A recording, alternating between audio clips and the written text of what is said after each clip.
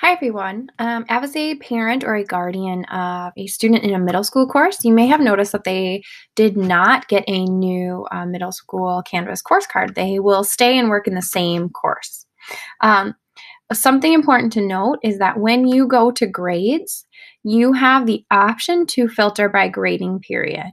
Um, so, in general, it will default to just show you the assignments from semester two, but you are able to change that filter. If you'd like to see their previous assignments from semester one, um, you can simply click that from the dropdown and choose apply. Um, if you are viewing all assignments, it may get uh, a little overwhelming. You'll, you'll probably see quite a list. So, it might be helpful to make sure that this filter is set to semester two.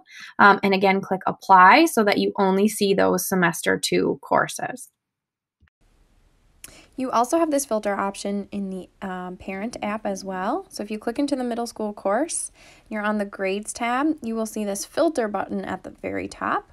You can choose this filter option and it will allow you to choose which grading period that you would like to view.